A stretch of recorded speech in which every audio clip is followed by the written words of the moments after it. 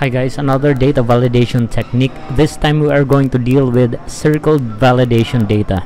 So it's like you are going to provide or Excel is going to provide circle or encircle the data that is invalid on your form. Okay, so for example, if I'm going to type something here, uh, for now there's nothing wrong with it.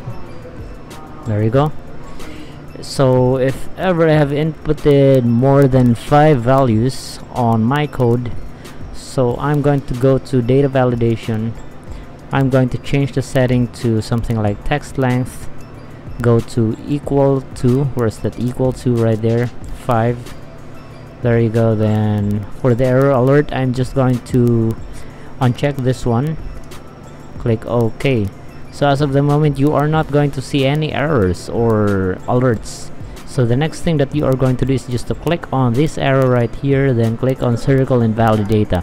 Not now this time excel is going to encircle data that are not equal to five characters. So as you can see the seal in here okay the seal row is using uh, the valid data. And aside from that the others are not. That's why there's some sort of um, it is being encircled. By the time you are going to provide valid data in there let's say like that this circle will be removed. Okay so that is how you are going to deal with data validation. Circle invalid data okay